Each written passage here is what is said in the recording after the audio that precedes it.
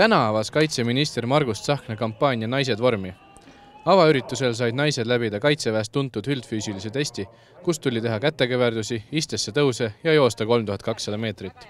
aga see on väga oluline jah, näidata eeskuju ja, ja anda ka see sõnum, et, et riigikaitse ei ole mitte ainult meeste teema, vaid see on kogu ühiskonna teema ja ja see totaalkaitse kontseptsioon, mis meil on, see on tegelikult ju nagu peremudel, ehk siis nii mehed kui naised, nii poisid kui tüdrukud, nii vanaisad, vanaemad, kõik on oodatud riigikaitsesse panustama. kohal olid mitmed tuntud naised eesotsas Anu Saagimi ja Riigikogu liikme Yoko Alenderiga. ma arvan, et nendele naistele, kellel see soov on, ma arvan, et see on väga väga hea võimalus oma riiki panustada, täita oma kodanikukohus ja, ja samal ajal ka isikliku arengu seisukohast tulin ikka selle ärevusega siia, et kas ma need testid läbin. et, et pole ammu vist kooli ajal sai viimati tehtud selliseid nagu hinde peale asju, aga,